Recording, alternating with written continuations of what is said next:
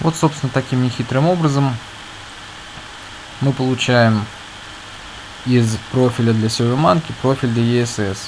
Еще я предлагаю не рассматривать в формуле логической ряд переменных.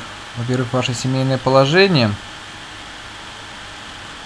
А, Во-вторых, уровень образования.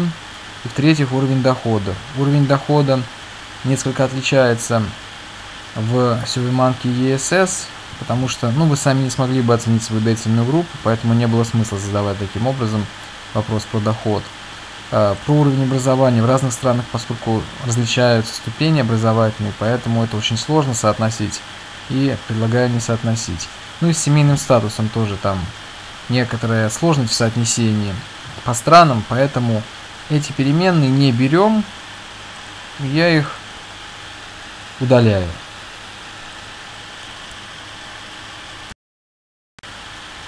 Возвращаюсь в объединенный файл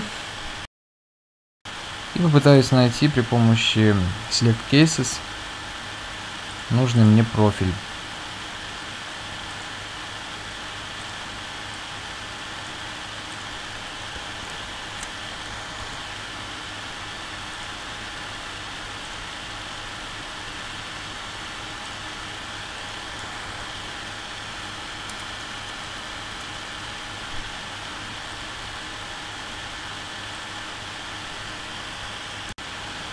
Вот, собственно, один респондент в России с соответственным профилем найден.